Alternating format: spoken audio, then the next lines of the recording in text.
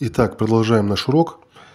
Тот цвет, который мы использовали в первой части, дальше этим же оттенком мы забиваем а, то пространство, которое отворачивается от цвета.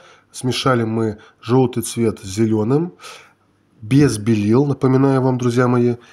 И этим оттенком мы специально, осознанно немножечко заходим на собственную тень груши, и тем самым создаем промежуточный оттенок, который, естественно, будет более э, в сторону э, теплого тона.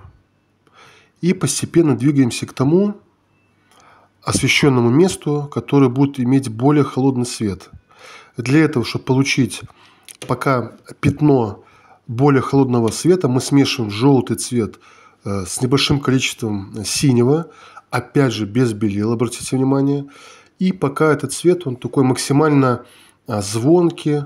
А, вот сами даже посмотрите, да, что а, центральная часть груши верхняя, вот именно серединки, вот эта теплохолодность, она различается и видна. То есть вот центральная часть, она действительно более холодная. Это заметно. Наши нанесенные полутона, мы кое-где их стушуем, впишем более плавно один тон в другой – и теперь нам нужно выразить блик, который также впоследствии немножечко растушуется. Для этого мы смешиваем белый цвет с небольшим количеством э, розового цвета и чуть-чуть добавляем синего. Только совсем чуть-чуть. То есть получаем бледно-бледно такой розовый оттенок. Я взял веерную кисть, она оставляет определенные интересные мазочки.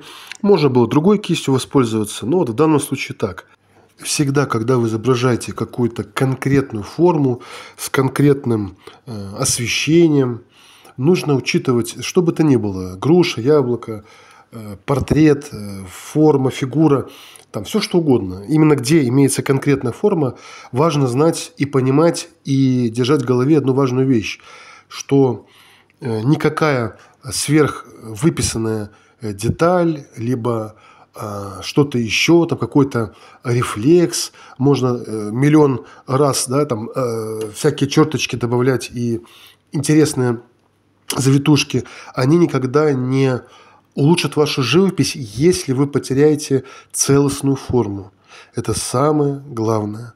Вообще в живописи главное тон и намного важнее, чем сам цвет. Но если вы, э, допустим, вот в конкретном случае, если мы сейчас с вами рефлекс сделаем немножечко ярче положенного и светлее, да. Кстати, обратите внимание, напоминаю, что мы почти всю грушу написали без белой краски, практически. Только где вот блики, да, и там чуть-чуть совсем э, от бликов отошли, э, чуть-чуть используя э, белый цвет. Так вот, если мы чуть-чуть, капельку, прям вот совсем чуть-чуть добавим э, белого цвета в рефлекс, и наша форма вся полностью рассыпется мгновенно – и объем, вот это так называемый эффект 3D, то есть реалистическое изображение, он сразу нарушится. И живопись станет серой, а, будут кричащие рефлексы, какие-то другие элементы, и полностью вся работа будет на смарку. Это следует всегда помнить и учитывать. Также а, стоит обратить внимание на то, что собственная тень груши в нижней части более темная, чем в верхней. Не сильно, но по тону немножко темнее. Также напоминаю вам, что при написании падающей тени мы черный цвет не использовали.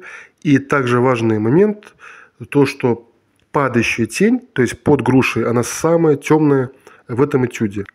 Скоро увидимся. Всего доброго. Пока.